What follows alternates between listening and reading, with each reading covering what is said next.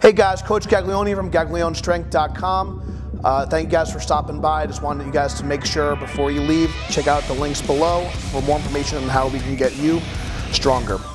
And now on to our Meathead Monday tip of the week. Hey guys, Coach Gaglione here. We're going to talk about just learning proper bar path and just good shoulder position for the bench press. Uh, real simple drill you can do just with a mini band.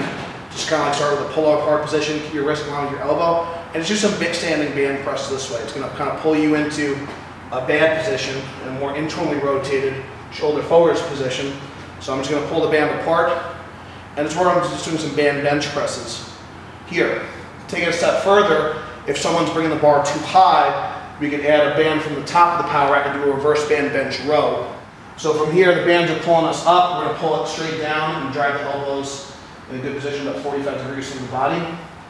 So now we're working on pulling the band apart, pulling the bar apart, and pulling the bar down to our chest. So we hold for a couple seconds and then bring it back to the top.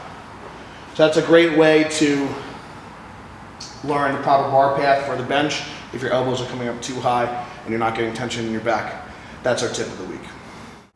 Before you guys go, make sure you guys check out the links below. Thank you for stopping by, stay strong, and we'll see you soon.